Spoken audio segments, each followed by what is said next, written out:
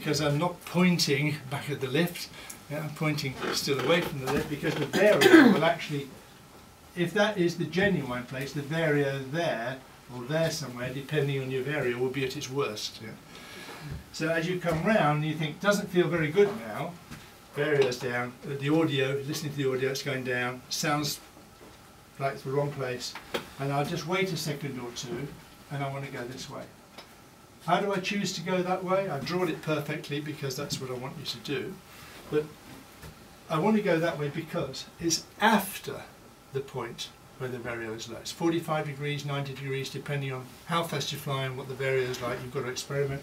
But also, it's 270 degrees to where I started, and I'm looking for other indications as well. And uh, I don't know how, uh, how many of you live your life through rules of thumb. To me, they're really important because I'm not very good at complicated stuff. Yeah? And so I always say, if I turn the wrong way, 270 degrees, I always level the wings. No, not always, but nearly always. Yeah? And then wait a second or two and turn again. Yeah? Generally the same way. Generally the same way. Now, for those of you beginning, this is dead easy, right? You just do it and it works. Uh, don't think about it because you'll make it more difficult.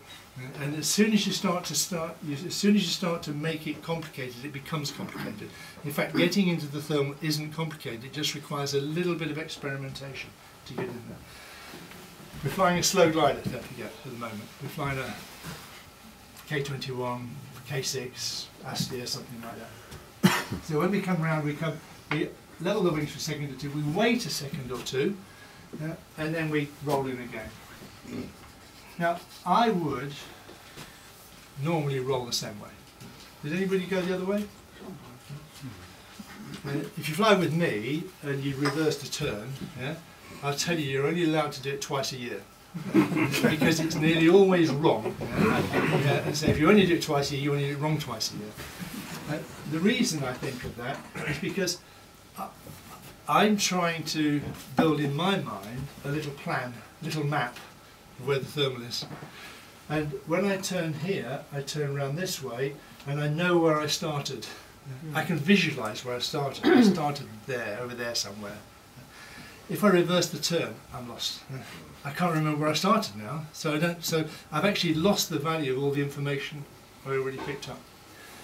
Of course, sometimes it is right to turn the other way, but not really. So we straighten up for a minute and then we turn again and we just see if we've improved it. And we see if we've improved the situation. And if we have improved it we can do the same again. So this don't forget is the technique for locating the thermal. This presupposes two things. One is that you can control the speed and attitude of the glider that's really important. Uh, and the other one is that you can roll in and out of the turn in a fairly sort of civilized way, uh, in a conventional way. Now, I have to be a little bit careful what I say. I'm just having a quick look to make sure that. Uh, I, some years ago, I was in. Uh, in we, we do a lot of flying in the mountains, so we do a lot of training in the mountains, and we do a lot of converting people into flying in the mountains. Yeah we could easily, in the days of Sudani, we could convert six, seven, eight, nine people a week from flatland pilots to mountain pilots. and one of the things you have to do is to convert them into thermal. And in Sudani one year we had a bunch of guys from a large club not too far from here who came with their own instructor. And by the end of the week, they hadn't flown any of the little tasks that we organised for beginners just around the valley to get the hang of it. And uh, the instructor said to me, look, I'm really having struggling here do you think you can fly with me and we'll have a look at sort of give me a bit of a heads up on how to do it? I said, yeah, sure, fine. Safin will fly. So we went off in, this, in his two-seater and we started to thermal and we went up and I thought, hmm, this is really difficult because he's a deputy CFI at his club how do I break the news to him that we need to start by using the stick and rudder together?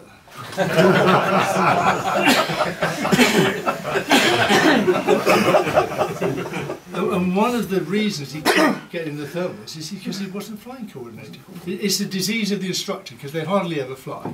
They only do 90 degrees turns, yeah? so they, anyway, it's, it is, it's just to illustrate the point. One of the reasons he couldn't soar is because he couldn't control the attitude and he couldn't roll in and out of the turn accurately. Now, it's, it is, it's amusing, but if you can't roll in and out of the turn accurately, how can you put the glider where you want it? And how can you remember where it was? So don't underestimate how important it is to fly accurately. Second thing is when you go into the turn, and all instructors should remember this, when you go into the turn like this, as we roll into the turn, we use the ailerons and rudder, beginners, that's what you do, isn't it? Yeah, we use the ailerons and rudders. And what else do we do? Pull back on the stick. Pull back. You've got diamonds, you, yeah, you should know that. but as we go into turn, we ease back on the stick a little because if we don't, the nose will go down, the glider will accelerate because we're out of equilibrium and you've all looked at the mm-hmm. picture of courses. So what happens then is when we roll into the turn, if we let it accelerate, it, it does not a circle but an ellipse. We get round to here, we look down and think, oh God, I'm going too fast. Yeah? And we pull the stick back and we put the turn over here. But we think we started over there. We think that that is there. And it's just another one of those little illustrations that if your flying isn't accurate, it's very difficult to do it. So work on it so it's accurate. And even if you think you're a real hotshot, yeah, I bet you you're not doing it well enough. Yeah. because I've flown with some real hot shots here, yeah, and you sit and talk about it. And I know, uh, uh, again, in my own flight, I had made a conversion from the open class back into the standard class, having flown open class for a number of years. Because I also got a bronze medal in the World Championships open class, but he didn't mention that. so, so, I went back in the standard class and I got a silver medal in the standard, but we don't mention that, right? I noticed one thing, and I noticed one thing was really important. Was, my turn entries were shit. It was rubbish. And I just couldn't do it. And I said, what's happening to me? I keep dishing out the turn. And the, it was a timing thing, you know? in the open class, when you rolled and you pulled up and rolled, the time it, took to dissipate the energy and get the bank on was much longer than in the little standard class fighter gliders. Yeah? And I was going like a fighter into these things, and sort of going sideways and up into the thermal, and nothing was working out.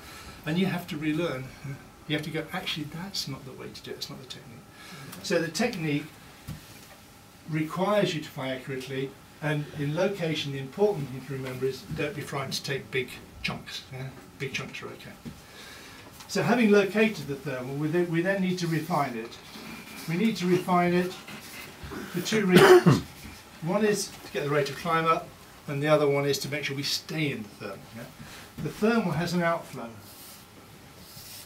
In the top half of the thermal there's an outflow, in the bottom half there's an inflow. If we're near the top part of the thermal and we're to one side, we will get taken out of the thermal. we flow out of the thermal.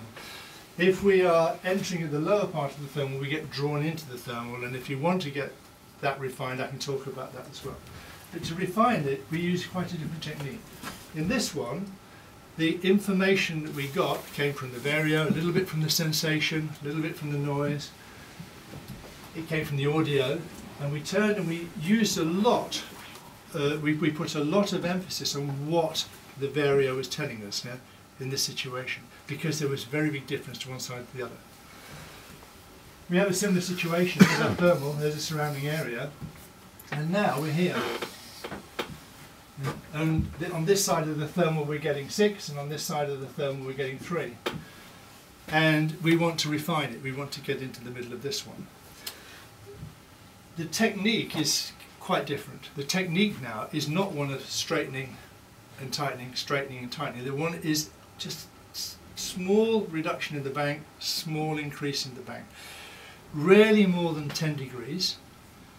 You should be thermalling at 30 to 40 degrees, something like that. So rarely more than 10 degrees.